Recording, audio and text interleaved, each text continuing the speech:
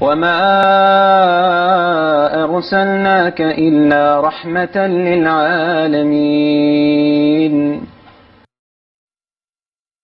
And we have not sent you, a messenger of Allah, for any other reason except to be a mercy to the whole world. The Prophet ﷺ, once he saw an old woman, and you might know this story. He didn't ask about her religion or what she followed or where she came from. This, this, this is not important to the Muslims. Because when you are sincere, it doesn't matter what color you are, what nationality you are, what uh, status you come from, what religion you are.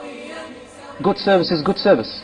So Prophet ﷺ saw this old woman, she had no one beside her to help and she was trying to lift some luggage up onto her satchel, onto her camel and trying to go home. When the Prophet ﷺ saw her, immediately raced to help her. He carried them on top and helped her and dragged the camel along and helped the old woman and kept her company all the way until she reached her home. Put her luggage down, made her comfortable and made sure that everything has been given to her. So then she looked at him and said to him, Oh young man, your face is full of light and your words are full of comfort. You bring softness to my heart. And you are one of the best people I've ever met. I thank you for this company. How can I ever repay you? The only thing I have is not wealth or money or possessions, but I have an advice for you. In those days, advices used to be bought for the price of camels in those days, like a price of car today. So he said, yes, advise me. Prophet used to accept advices from old women. So he said to him, she said to him, there is a man, his name is Muhammad, and he's a very bad man. He has disunited the people and disunited us from our family. He teaches people sorcery and he leads them astray from the ancestral belief. Keep away from him. I don't want you to be destroyed. You are too, too good of a man. So then, wallahi this is a true story, ya akhwan. True story. And she said, then finally she asked him for his name. And the Prophet ﷺ is patient and calm. What would one of us do? He turned around and smiled and said, my name is Muhammad. Sallallahu alayhi wa sallam. She said, Muhammad. Sallallahu alayhi wa sallam. She could not do anything except sit down on her knees and say, أشهد أن لا إله إلا الله وأنك رسول الله. I bear witness that there is only one God and you are His messenger. He had a Jewish neighbor and the Prophet ﷺ used to experience some harm from him. So he used to place his rubbish in front of the Prophet ﷺ's house very frequently and the Prophet peace be upon him used to clean it up.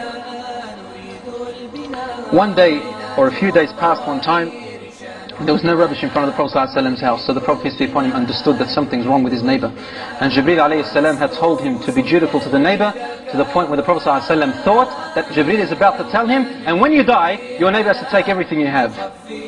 The Prophet ﷺ went and visited the Jewish man and he found him sick. The Jewish man asked, How did you know I was harmed? How did you know I was sick? The Prophet ﷺ said to him, Well, the only way I knew is because of your rubbish. that Jewish neighbor became a Muslim, ya akhwa. What about the Bedouin man who entered the masjid one time when the Prophet ﷺ was sitting, the companions were around him. He felt like going to the toilet to the Bedouin, a rude man, and he doesn't understand. He went to one of the corners of the masjid and started to urinate. Just went to the corner and began urinating in the middle of the, in the masjid. Well, the companions who were still not ready for that, they took out their swords.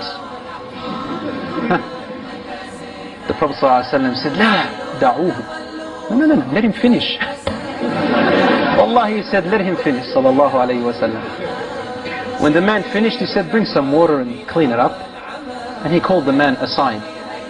And he addressed him with such a kind manner that this Bedouin has never heard it from even his mother ever. How compassionate is the mother? He never even heard it from his mother. Finally, the Prophet ﷺ said to him, and I can't describe the way he said it, he said, it is normal for a human being to need to urinate. But this place has not been set for such an act. The Bedouin looked up at him and cried. Bedouin doesn't cry, hardly cries, and said to him, بِأَبِي أَنْتَ وَأُمِّي يَا رَسُولَ اللَّهِ I sacrifice everything I have for you before my mother and father and messenger of God. Or that woman who came to Prophet ﷺ and said, Ya Rasulullah, I am pregnant from zina. Stone me. Subhanallah. He turned away from her the first time. Maybe she's drunk. Maybe she's, ignorant. Giving her a chance to go away and repent to Allah in another way. So she returned back to him. Ya Rasulullah, I'm a pregnant woman from zina. Tahirni, purify me. Stone me to death. The Prophet ﷺ turned again away from her, trying to ignore her the third time. And then a fourth time, when she bear witness four times against herself and insisted, he said to her, go back until you give birth to the baby that's in your stomach. What has he done? Why should he die with you? So she returned, and in the hope, Prophet ﷺ is hoping that she will not return and ask Allah to pardon her and forgive her because Allah is merciful. And to hide it. Nine months later she returned, Ya Akhwan. And she said to him, he is my child, now purify me. The Prophet ﷺ looked and said, go back until the child has been, until the child no longer needs your breast milk. He needs your breast milk. So she left and after two years, talking about two years and nine months, she returned back to the Prophet ﷺ. When Prophet ﷺ saw that she was insistive on it, and she wanted the forgiveness of Allah subhanahu wa ta'ala, they took her and she was stoned. And then the people, they thought like, they, they felt like she's a bad woman. When the Prophet ﷺ saw this attitude, he stood up before everybody and made a legacy for her which lasts till today until the last hour. He said, Wallahi, لقد تابت هذه المرأة توبة لو زنى أهل المدينة لوسعتهم Wallahi this woman has repented such a repentance that if all the people of Medina were to commit the same zina and you were to place it on a scale, her repentance would have overcome them all.